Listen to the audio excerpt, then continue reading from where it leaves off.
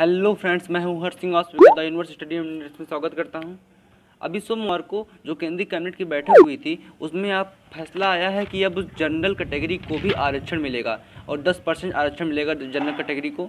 और आज का हमारा वीडियो इसी पर है कि इस आरक्षण के लिए जनरल कैटेगरी को कौन कौन से डॉक्यूमेंट की ज़रूरत होगी, पहले हम इस पर बात करेंगे उसके बाद हम सोशल टॉपिक्स पर भी आएँगे और इसमें है कि हम, ये, इसकी राह क्यों मुश्किल लग रही है? मतलब कि ये फैसला अभी कैबिनेट से आ गया है मतलब कि कैबिनेट से फैसला ले लिया गया है, लेकिन अभी सांसद में फैसला पेश किया जाने वाला है। तो वहाँ पर इसकी राह मुश्किल क्यों लग रही है और इससे किसको किसको लाभ मिलेगा? तो हमारा वीडियो आज इसी पर है। तो आइए वीडियो को शुरुआत करते हैं।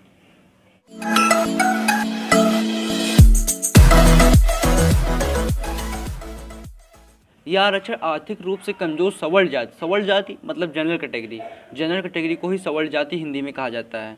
यह आरक्षण आर्थिक रूप से कमज़ोर सवर्ण जाति को मिलेगा, जिसकी सालाना आय आठ लाख रुपए से कम होगी। उन्हें यह आरक्षण का फ़ायदा मिलेगा। और अब हम बात करते हैं कि इसकी डॉक्यूमेंट की कौन कौन ज़रूरत है। या हम आपको एक सूत्रों के मुताबिक बता रहे हैं, हमारे पास जो सूत्रों के मुताबिक जो खबर मिली है, उसको हम आपको बताने जा रहे हैं। इसमें कौन कौन से डॉक्यूमेंट की ज़रूरत है?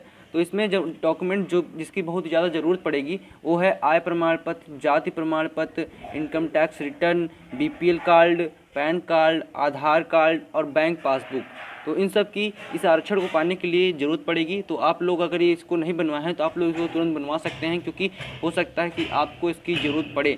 हो सकता है क्या? आपको इसकी ज़रूरत पड़ेगी ही. सूत्रों के मुताबिक, आरक्षण का कोटा मौजूदा उनचास दशमलव पाँच प्रतिशत से बढ़ाकर उनसठ दशमलव पाँच प्रतिशत कर दिया जाएगा. और अब हम बात करते हैं इसकी राह मुश्किल क्यों है। जैसे कि हमने शुरुआत में बताया था कि आपको इसको भी बताएँगे। तो अब आते हैं इस टॉपिक पर कि इसकी राह मुश्किल क्यों लग रही है। क्योंकि यह आरक्षण जो है आर्थिक आधार पर है और हमारे संविधान में जो आरक्षण बात की गई है, वह जात के आधार पर कही गई है। तो इस वजह से इसमें संविधान में संशोधन करना पड़ेगा। इस वजह से इसकी राह थोड़ी मुश्किल लग रही है और इसमें संविधान में अनुच्छेद पंद्रह व अनुच्छेद सोलह में संशोधन करना पड़ेगा। और संसद में इसका फैसला होने वाला है। जल्दी आप लोग देख सकेंगे इसमें क्या होता है। अब हम बात करते हैं कि इसका लाभ किसको किसको मिलने वाला है। तो उसमें कई सारे पॉइंट्स बताए गए हैं। इसमें पहला है, जिनकी सालाना आय आठ लाख रुपए से कम हो। और दूसरा, जिनके पास पाँच हेक्टेयर से कम की खेती की ज़मीन हो। तीसरा, जिनके पास एक हज़ार स्क्वायर फीट से कम का घर हो।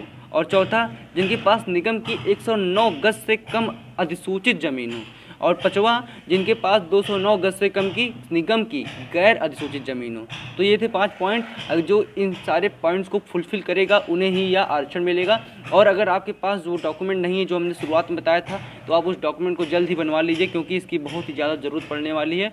और ये था हमारा वीडियो। अगर आप सभी को हमारा वीडियो पसंद आया है तो हमारे वीडियो को लाइक कर दीजिएगा और हमारे चैनल को सब्सक्राइब ज़रूर कर लीजिएगा, क्योंकि हम ऐसे साइंस एंड टेक्नोलॉजी से रिलेटेड वीडियो डालते रहते हैं। और हमारे वीडियो पूरा देखने के लिए बहुत बहुत धन्यवाद।